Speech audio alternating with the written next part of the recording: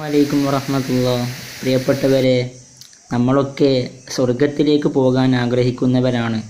എന്നാൽ ഹബീബായ റസൂലുള്ളാഹി സ്വല്ലല്ലാഹു അലൈ വസല്ലമ തങ്ങൾ പഠിപ്പിച്ചിട്ടുണ്ട് അൽ ജന്നത്തു മുഷ്താഖത്തുൻ ഇല അർബഅത്തി നഫർ. നാല് വിഭാഗം ആളുകളെ സ്വർഗം ആഗ്രഹിച്ചു കൊണ്ടിരിക്കും.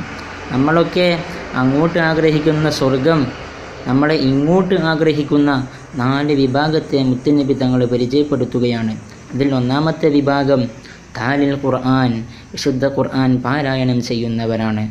നോക്കൂ മുഅ്മിനീങ്ങളെ ഈ വിശുദ്ധ റമദാനിന് ഇത്രമാത്രം പവിത്രത ലഭിക്കാൻ കാരണം? വിശുദ്ധ ഖുർആൻ ഇറങ്ങി എന്ന ഒരൊറ്റ കാരണം കൊണ്ടല്ലേ? അതുകൊണ്ട് ഈ റമദാനിൽ ചുരുങ്ങിയത് ഒരു ഹത്തുമെങ്കിലും നമ്മൾ തീർക്കാൻ ശ്രദ്ധിക്കണം. അള്ളാഹു തോഫീക്ക് നൽകട്ടെ. രണ്ടാമത്തെ വിഭാഗമാണ് ഹാഫിദുൽ ലിസാൻ നാവിനെ സൂക്ഷിച്ചവർ നാവ് കൊണ്ട് അനാവശ്യം പറയാത്തവർ.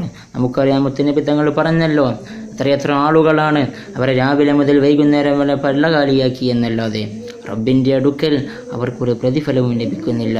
അതുകൊണ്ട് നമ്മൾ നാവിനെ സൂക്ഷിച്ചാൽ സ്വർഗം നമ്മളെ ആഗ്രഹിക്കുമെന്ന് മുത്തനബി സല്ലല്ലാഹു അലൈഹി വസല്ലം മൂന്നാമത്തെ വിഭാഗമാണ് മുത്തൈമുൽ ജിയാൻ വിശന്നവനെ ഭക്ഷിപ്പിച്ചവർ.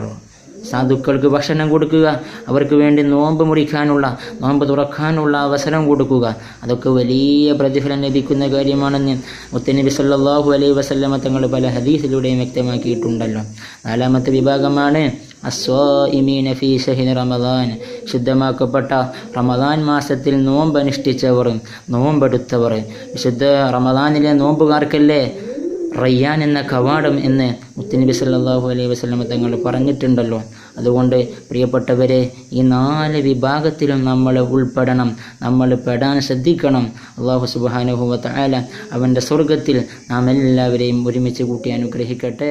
അസ്സാം വലൈക്കും വറഹ്മത്തുള്ളാഹി